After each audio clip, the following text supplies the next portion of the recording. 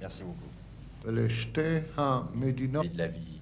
Et nous avons donc décidé de placer cette visite sous le signe de cette relation bilatérale entre nos deux pays, qui est le cœur de notre préoccupation commune et qui aura la charge sous notre euh, responsabilité directe à David Lévy et à moi-même de veiller au renforcement, au développement euh, et à la stabilité euh, chaleureuse des relations entre la France et Israël dans tous les domaines. sur la situation au Moyen-Orient, naturellement, que la Syrie est aussi un pays au Moyen-Orient.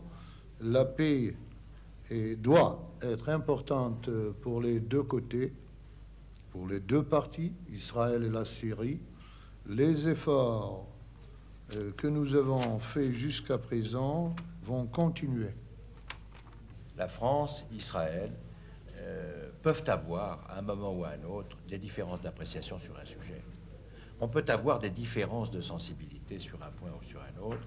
Cela ne doit pas transformer ou porter atteinte à la relation franco-israélienne, qui doit être une relation forte et chaleureuse. Cela a toujours été comme ça euh, dans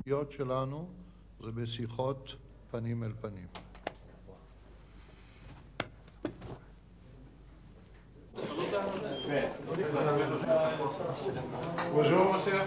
Bonjour, monsieur.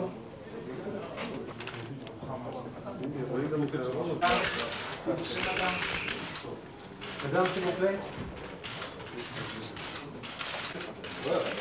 Well, I want to uh, welcome uh, cette occasion qui m'est donnée de visiter Israël.